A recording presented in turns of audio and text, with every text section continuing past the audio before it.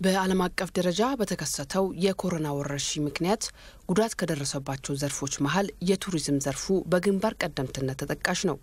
ኢትዮጵያም ከዚህ ዘርፍ ታገኘው የነበረውን ገቢ አጥታለች።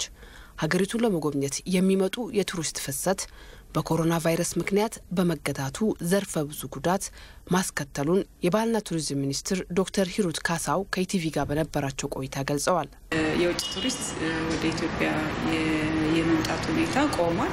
ቱሪስት ካልመጣ ደግሞ አገልግሎት መስጫ ተቋሞቻችን አገልግሎት አይሰጡ፣ መስህቦቻችን አይጎበኙም። ስለዚህ በዚህ እሴት ሰንሰለት ውስጥ ያሉ ተዋናዮች የገቢ ምንጭም አይኖራቸውም። ካላቸውም ደግሞ በጣም ዝቅተኛ የገቢ ምንጭ ነው የሚኖራቸው ማለት ነው።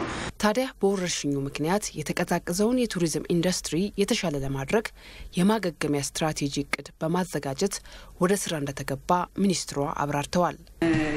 የማገገሚያ ስትራቴጂ እንዴት ከዚህ ኮሮና ሴክተሩን እንታደገዋለን ከታደግነው በኋላ ደግሞ በኋላ ደግሞ ከኮቪድ በኋላ ደግሞ እንዴት በተሻለ ወደ ነበርንበት መመለስ ሳይሆን ከነበርንበትም በተሻለ እንዴት ከፍ ብለን የኢትዮጵያን ቱሪዝም ልናሳድግ እንችላለን የሚል በጣም መሰረታዊ የሆነ strategic plan ተዘጋጅቷል። ጨርሰናል። በተወሰነ ደረጃ ወደ ስራ የተገባበት ሁኔታ አለ። የውጭ ቱሪስት ሲቆም የሚቆም ሳይሆን ዘላቂነት ያለው ቱሪዝም እንዲኖረን አገር ቱሪዝም ላይ መስራት አለብን የሚል በዚህ ላይ የሚሰሩ ብዙ ስራዎች አሉ። የሀገር ውስጥ ቱሪስትን መሰረት ያደረገው የማገገሚያ ስትራቴጂ ውጤታማ እንዲሆን ቀጠሮ ይዣለሁ በሚል ስያሜ ስራዎች እየተሰሩ ሲሆን በቱሪዝሙ ዙሪያ ፕሮግራሞችን በማዘጋጀት ከኢትዮጵያ ሬዲዮ ጋር መስራት መጀመራቸውንም አስታውቀዋል። ከኮሮና በኋላ እኛ የምንጠብቀው ተስፋ አለን።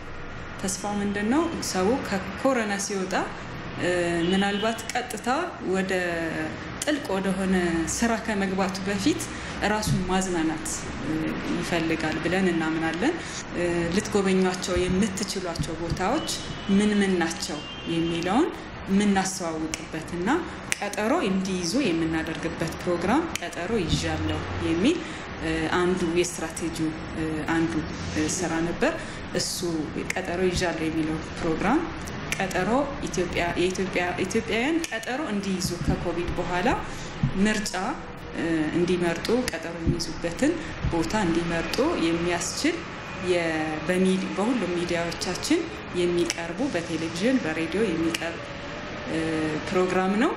አንጋፋ ኢትዮጵያ ሬዲዮ ይሄን ፕሮግራም የመጀመሪያ ሆኖ እንደ አንጋፋነቱ ዛሬ ጀምሮልናል።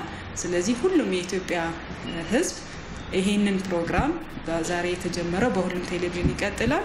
ይሄንን በማዳመጥ ከኮሮና በኋላ አገራቸውን እንዲጎበኙ እራሳቸውን እንዲያድሱ አሁን አሁኑኑ ይህ ፕሮግራም በማዳመጥ ቀጠሮ እንዲይዙ በዚሁ ጥሪያችንን እናስተላልፋለን። ጥናቶች እንደሚያመለክቱት በዓለም ላይ በቱሪዝምና ጉዞ ዘርፉ ከአስር ሰዎች ለአንዱ የስራ እድል የሚፈጠር ሲሆን በኮሮና ቫይረስ ምክንያት 75 ሚሊዮን የሚሆኑ በቱሪዝሙ ኢንዱስትሪ ውስጥ የሚሰሩ ሰዎች ከፍተኛ አደጋ ውስጥ መሆናቸውን ጥናቱ አመላክቷል።